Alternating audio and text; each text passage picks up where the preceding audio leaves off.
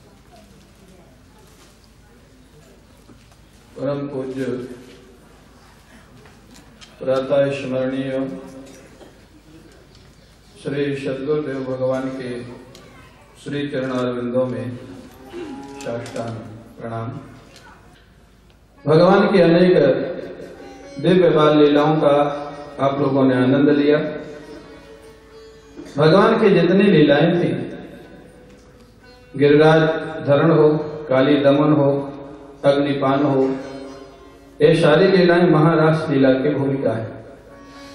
माने महारास वही कर सकता है जो इन लीलाओं को पहले कर सकता है।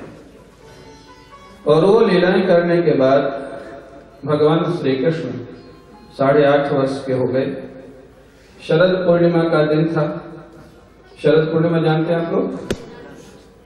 नवरात्र, दशहरा के बाद जो पूर्णिमा आती है, नवरात्रि, शारदीय नवरात्र के बाद। महाराज, उसमें जा करके भगवान ने देखा, बड़ा रमणीय वातावरण है।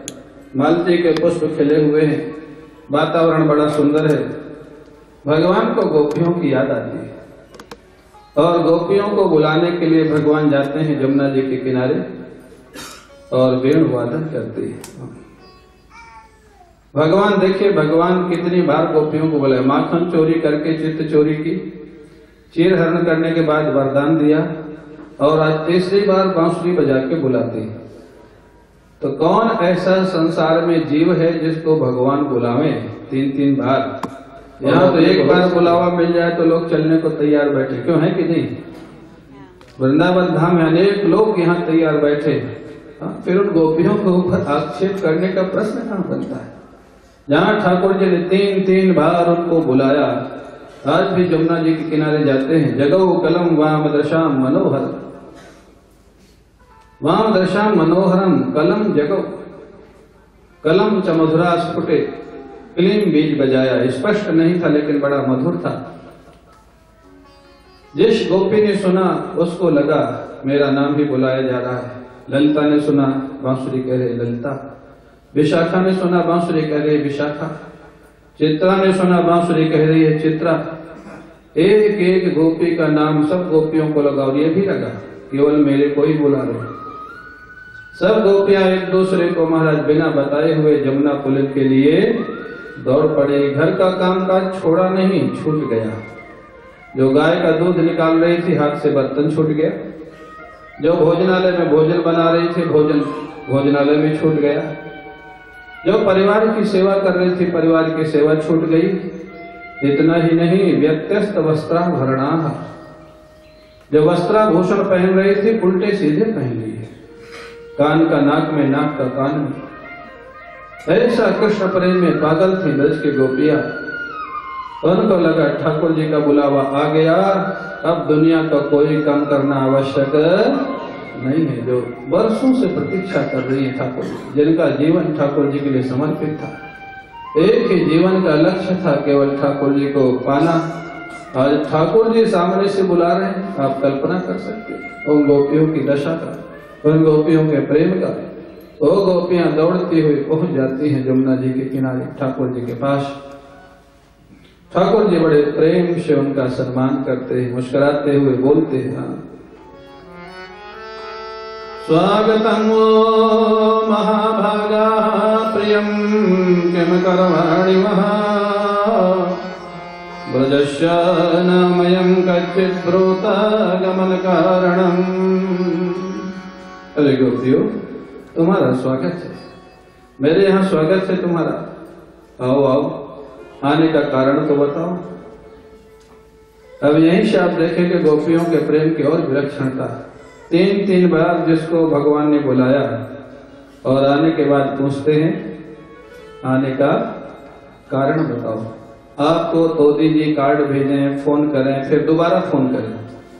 और आने के बाद आपसे पूछें, आप कैसे आए? क्यों आए? आपको अच्छा लगेगा, खराब लगेगा? क्या लगेगा? खराब लगेगा। आप कई लोग झगड़ जाएँगे आपने कार्ड भेजा, फ़ोन किया अब हम आ गए तो पूछ रहे हो, क्यों आए? लेकिन भगवान कृष्ण यही प्रश्न गोपियों से पूछते हैं। गुरुता गमन कारणम, आने का कारण तो बताओ, क्यों आई आप लोग? ये शरद पूर्णिमा का सौंदर्य, चांदनी का सौंदर्य देखने आई है तो देख लो। और अगर मेरे का दर्शन मेरा दर्शन करने आई हो तो मिल लिया। लेकिन इस समय आने का समय ठीक नहीं रात्रि प्रारंभ हो रही है। रात्रि में बाहर नहीं जाना चाहिए, घर परिवार में रहना चाहिए। भगवान ये क्यों पूछते हैं? भगवान वरदान दे चुके हैं, तुम्हारे साथ रासलीला करूँगा। मैं तुम्हारी प्रार्थना स्वीकार करता हूँ। आज बांसुरी बजा के बुलाया है, आह्वान किया है, फिर क्यों पूछ रहे हैं? भगवान, हमको आपको दिखाना चाहते हैं, अरे दुनिया वालों गोपियों का हृदय देख लो। ऐसा प्रेमी हृदय था, जो उल्टा सीधा प्रश्न करने के बाद भी कभी भगवान पर कटाक्ष नहीं किया। कभी झगड़ा नहीं किया। गोपियों से पूछ रहे क्यों आए? लौट जाओ। अब गोपियाँ कुछ नहीं बोलते कि आपने तो बुलाया ये भी नहीं कहा ये समर्पण ये समर्पण की पराकाष्ठा। ये जीवन आपका है, आप सम्मान करो तो आपका, और अपमान करो तो आपका। प्रेम से बोलो तो आपका, और कटुता से बोलो तो आपका। ये परम समर्पण का जीवन था। गोपियाँ बोले तो कुछ नहीं, लेकिन उनके आँखों से अश्रुपात होने लगे। क्यों? निराश हो गए। हमने तो सोचा था भगवान स्वीकार कर लेंगे लेकिन आज भी अगर स्वीकार नहीं करेंगे, तब इस दुनिया में जीने का कोई फ़ायदा नहीं। निराश होकर रोने लग जाते हैं। अगर श्री कृष्ण ही मना कर देंगे, लौटा देंगे तो हम क्यों रहेंगे इस दुनिया में? इतना अश्रुपात हुआ गोपियों के, हम भगवान देख रहे हैं। गोपियाँ खड़ी खड़ी रो रही है। विश्वनाथ चक्रवर्ती कहते हैं, गोपियों की आँखों में जो काजल लगा था आंसुओं की धार के साथ बह करके आँखों से पैर तक पहुँच गया। काली काली लकीर बन गई महाराज, पूरे शरीर में। मानो गोपियाँ कह रही हैं, श्याम सुंदर, अब हम लौटने की स्थिति में तो है नहीं। तुमको स्वीकार नहीं करना तो निशान हमने शरीर पे बना दिया है, लाइन बना दी है। आप आरा चला करके शरीर को समाप्त कर दो, अब ये जीवन हम नहीं रखना चाहती तुम्हारे लिए। सुखदेव जी कहते हैं, राजन, वही गोपियाँ थे जिन्होंने सर्वस्व समर्पण किया था। आज भगवान इतने कठोर हो गए। दुनिया वालों को, हमको आपको दिखाने की गोपियों का हृदय देखो क्या था। गोपियों के हृदय से क्या क्या प्रकट हुआ? गोपियाँ कहते श्याम सुंदर, दुनिया कुछ कहे, उसकी हमको चिंता नहीं मयम विभोर हति, भगवान गदितुम नृशंसम। भगवान एवं नृशंसम गदितुम न अर्हति। कम से कम आपको इतना कठोर वाक्य नहीं बोलना चाहिए कन्हैया हमारी जो दशा है। हमारी दशा जाने लायक है नहीं। हम जा नहीं सकती हैं। अगर आप जाने के लिए बोलोगे तो हमारा जीवन छूट जाएगा, शरीर छूट जाएगा। क्या गोपियाँ मौत से डरती हैं? नहीं। गोपियों ने और विलक्षण बात कह दी, कन्हैया, हमारा जीवन भी छूट जाए तो भी चिंता नहीं है। तो चिंता किस बात की है? एक ही चिंता है, अगर आज हमारा शरीर छूटेगा, जीवन छूटेगा कल से कोई कृष्ण प्रेम के रास्ते पर चलेगा नहीं। लोग कहेंगे, गोपियों ने सब कुछ छोड़ दिया था कृष्ण के लिए। कृष्ण ने क्या किया? गोपियों को जीवन छोड़ना पड़ा। कन्हैया, तुम्हारी भक्ति का रास्ता कलंकित हो जाएगा। ये हमको चिंता है कन्हैया। अगर जीवन को समाप्त करना था तो कालिय नाग का प्रसंग था, गिरिराज जी का प्रसंग था। वहाँ समाप्त कर देते तो तुमको दोष नहीं लगता। हमारा जीवन भले चला जाता। आप कल्पना कर सकते हो गोपियों के जीवन पर। जो मौत को स्वीकार करने को तैयार है, लेकिन कृष्ण पर कलंक स्वीकार करने को तैयार नहीं। वो गोपियों का जीवन। कितना समर्पित, कितना दिव्य जीवन। आजकल लोग समझते नहीं गोपियों का जीवन क्या था। उसके बिना ही रासलीला, क्योंकि रासलीला क्योंकि रासलीला कितनी दिव्य लीला है। जिसमें भगवान शंकर शामिल हुए, और जिस रासलीला को भगवान शंकर इस कलिकाल में नरसिंह मेहता को दर्शन कराया, वो रासलीला वो दिव्य लीला वो दिव्य लीला बस प्रश्न समस्या तो वही है ना।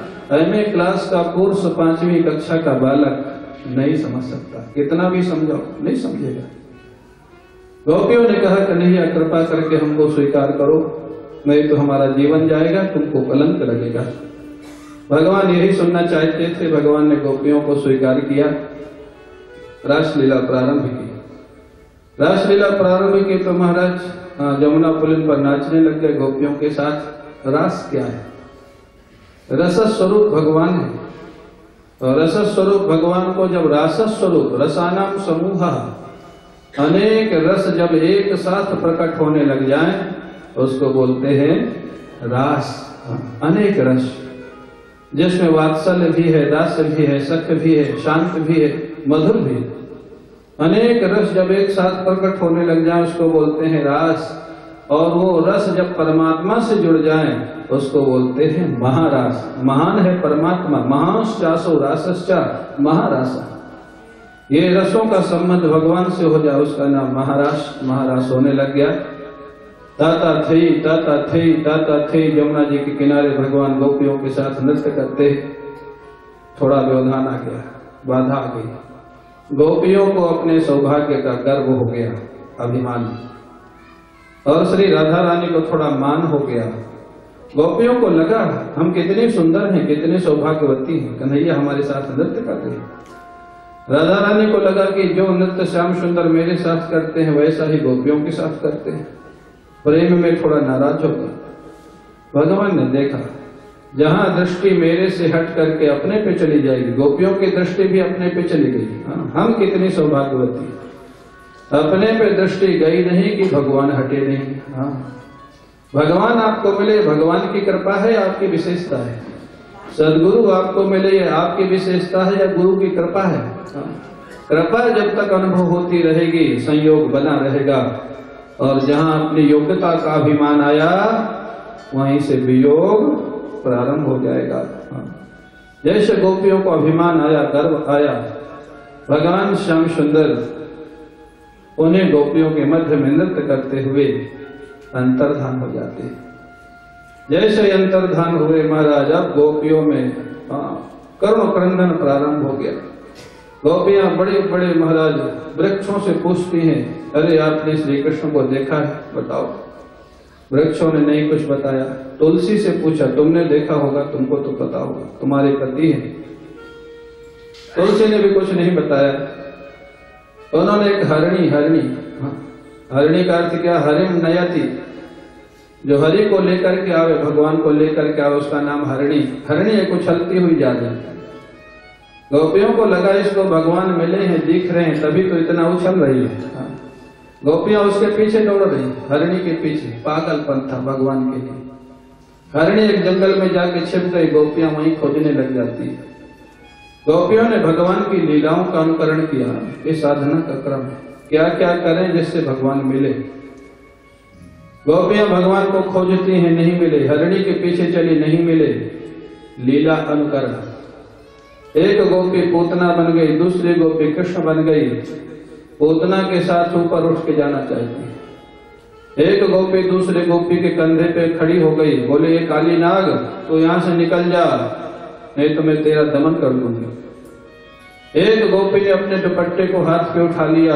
अरे ब्रजवासियों, मैंने गिरिराज जी को उठा लिया है। यह भगवान की लीला अनुकरण, इससे भी भक्ति बढ़ती। एक गोपी टेढ़ी होके चलने लग गई, जैसे श्याम सुंदर चलते हैं। टेढ़ी टेढ़ी चलती है, ठुमक ठुमक के। अरे गोपियों, तुम कृष्ण के लिए रो रही हो ना? अरे कृष्ण, मैं हूँ। देखो।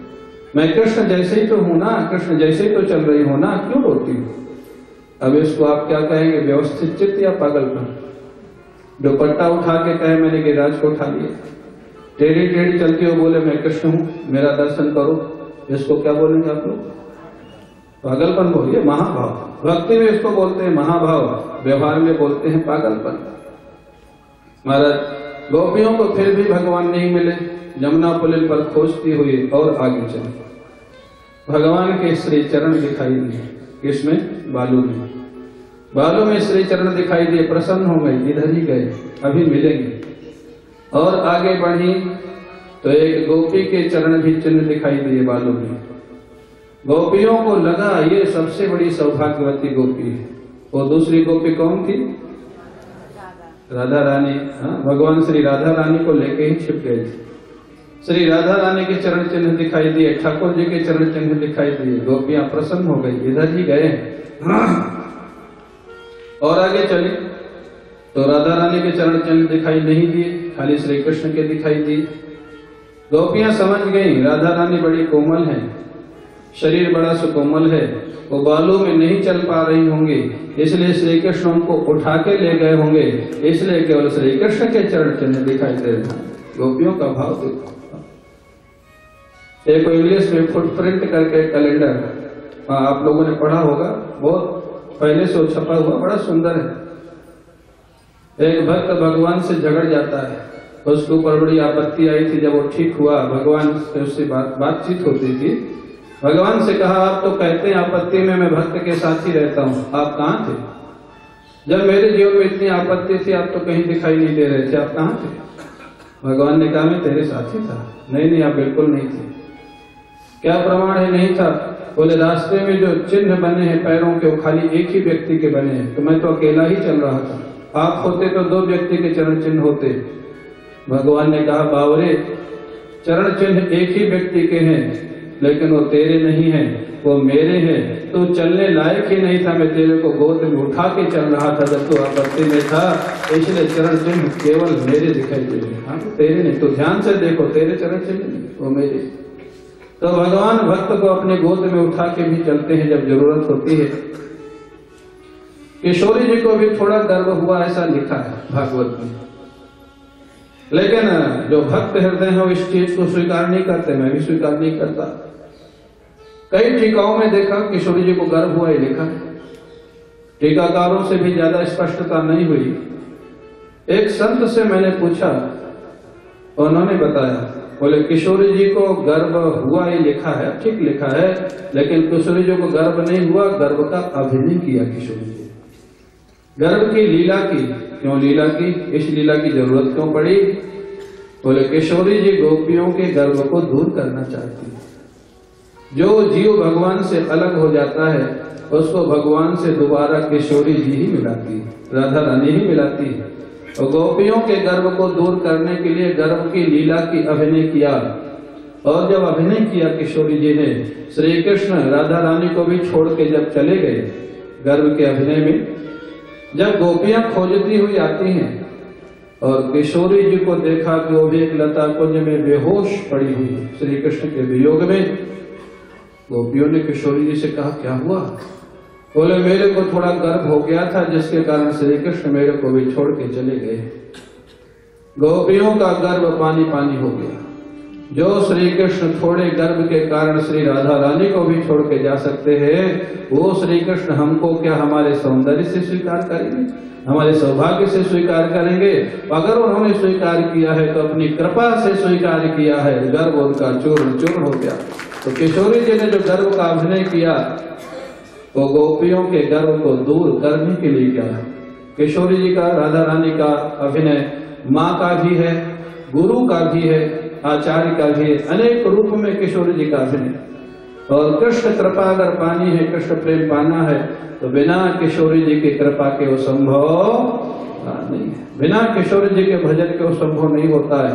हाँ किशोरी जी महाराज, गोपियाँ भी जब अलग हो गई, भगवान छोड़ के चले गए तो गोपियों को वापस श्री कृष्ण से मिलाया किसने? आप महाराष्ट्र में देखे ना गोपियों को वापस श्री कृष्ण क्या गोपियाँ अपनी साधना से, सामर्थ्य से मिल सकी? नहीं। किशोरी जी ने गर्भ का अभिनय किया। गर्भ के अभिनय के बाद गोपियों का गर्भ तोड़ा और फिर गोपियों के साथ मिलकर के किशोरी जी स्वयं खोज रही है श्री कृष्ण को। जमुना जी के किनारे दूर दूर तक खोजती हुई चली गई। ऐसा घनघोर जंगल जहाँ चंद्रमा की चांदनी भी प्रवेश करने में असमर्थ थी। गोपियों के चरणों में कांटे चुभने लग गए। वहाँ से लौट आए। आगे नहीं जाएँगे। क्यों? कांटों से डर गए? नहीं। गोपियाँ जानती हैं, हम जितना आगे आएँगे, उतना आगे हमारे श्री कृष्ण हमसे पहले जाएँगे। और जो कांटे हमारे पैरों में बाद में चुभेंगे, वो कांटे श्री कृष्ण के पैरों में, चरणों में पहले चुभ जाएँगे। इसलिए अब श्री कृष्ण को हम कष्ट नहीं देंगे। क्या जीवन था वापस लौट आती हैं। अगर मिलना होगा तो यहीं मिल जाएँगे। और नहीं मिलना होगा तो खोजने के बाद भी नहीं मिलेंगे, लौट आए लेकिन लौट तो आई। लौट के क्या शांत बैठ गई? नहीं, शांत बैठ कैसे सकती है? भगवान का प्रेमी शांत बैठ कैसे सकता है? गोपियों के हृदय से पुकार निकली। जीवन की जैसे अंतिम पुकार होती है। एक निराशा भरी पुकार। जीवन की अंतिम प्रार्थना और उसी प्रार्थना का नाम है गोपी गीत। गोपी गीत कनक मंजरी छंद में है और कनक का अर्थ होता है सोना। जैसे सोना संपत्ति बहुत बढ़ने से व्यक्ति को थोड़ा नशा आ जाता है। ऐसे छंद का पाठ अगर ब्रज की परंपरा में कोई करे तो कृष्ण प्रेम का नशा आ जाता है। इसका पाठ कैसे होता है? चार पाँच छंद में आपको गा करके सुनाऊँगा। इसका पाठ कैसे होता है? और फिर गोपी गीत की सीडी मेरे पास कुछ है और फ्री ऑफ़ कॉस्ट है। तो जितनी होंगी वो आप लोगों को उपलब्ध करा देंगे, फिर आप कॉपी करा लेना उसकी। कैसे इसको गाते हैं, ब्रज की परंपरा में, थोड़ा भी कृष्ण प्रेम होगा तो शरीर रोमांचित होने लग जाता है, ऐसा ही छंद है।